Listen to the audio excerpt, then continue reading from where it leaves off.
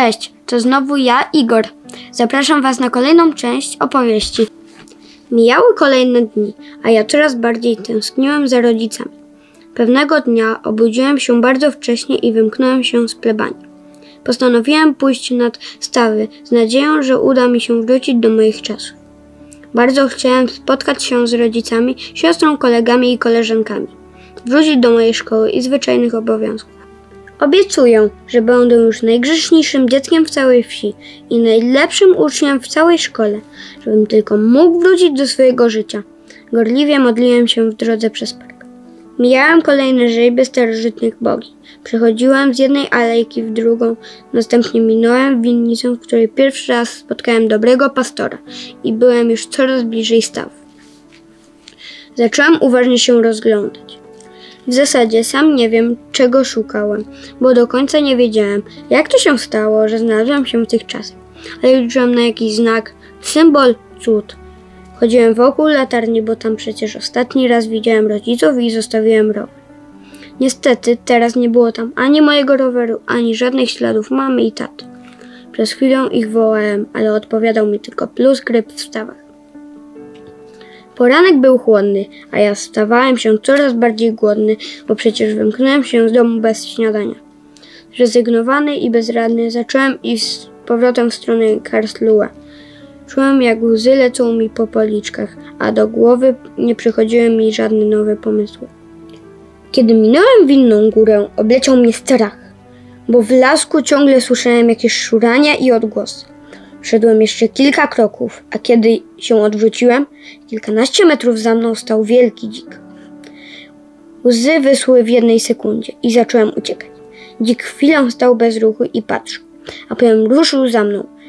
Biegłem ile sił w nogach, ale ten dzik chyba był maratończykiem, bo coraz bardziej się do mnie zbliżał.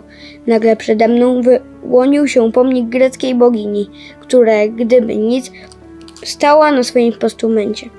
Złapałem ją za kamienną rękę i wskoczyłem na niego. Uff, w ostatniej chwili.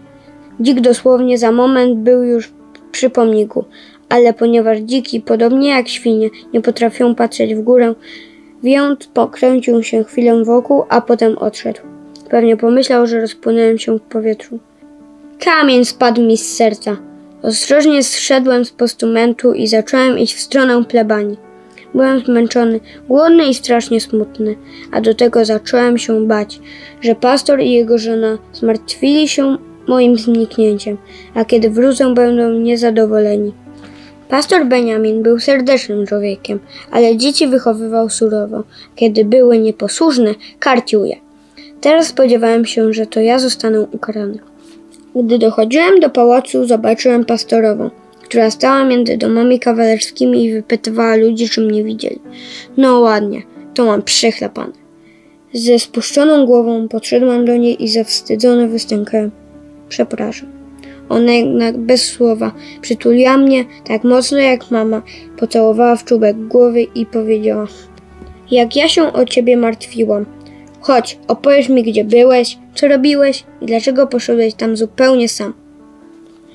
W tej w jej głosie było tyle dobroci, że od razu przestałem się bać.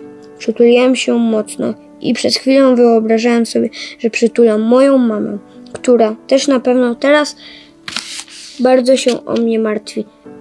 Weszliśmy do domu. Nie było żadnej kary ani wyrzutów, ale troska, którą okazywała mi pastorowa, podając śniadanie i gorącą zbożówkę.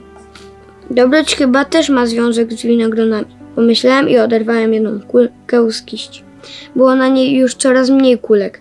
Tak, dobroć na pewno też jest jedną z części tego owocu, bo nie wyobrażam sobie, co dziś by się stało, gdyby pastorowa nie była dobra. Ja też chcę być dla wszystkich dobry, tak jak ona, żeby ludzie, którzy mnie spotykają, odczuwali przy mnie spokój. Jeśli kiedyś uda mi się żyć do mojego dawnego życia, zawsze będę dobry. Dzięki, że wysłuchaliście mojej opowieści. Zapraszam Was za tydzień na kolejną część.